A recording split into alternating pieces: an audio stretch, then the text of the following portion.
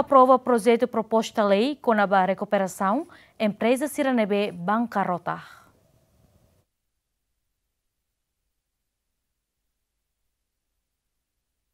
Livre reunião Conselho Ministro e Palácio Governo dele, quarta-né, governo aprova projeto proposta lei para autorização legislativa com a recuperação empresa insolvência, nebe apresenta o ministro coordenador assuntos econômicos Joaquim Amaral. Proposta lei a transforma base economia timoruaniana, onde a resiliência no potencial crescimento, apoia no resolve situação empresa siraniana, nebe e a situação financeira difícil, mas be se a condição econômica atulao. Além de proposta lei colia com a responsabilidade da empresa na insira, bani trabalhador sira nebe lá com serviço, também empresa bancarrota impacto cima administração no finanças.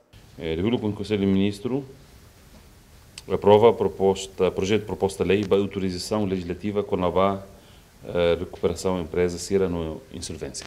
A tua tabela regula, Liliu, a tabela legisla com a recuperação empresa no insolvência.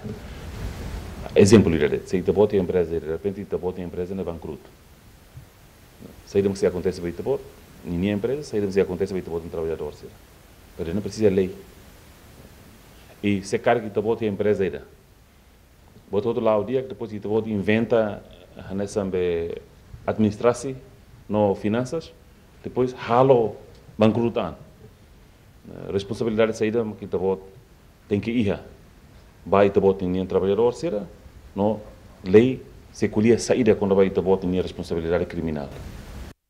Projeto proposta lei para autorização legislativa com a recuperação empresa Sira no insolvência ne se para Parlamento Nacional até for autorização para governo no ne governo bele implementa ona projeto proposta lei ne.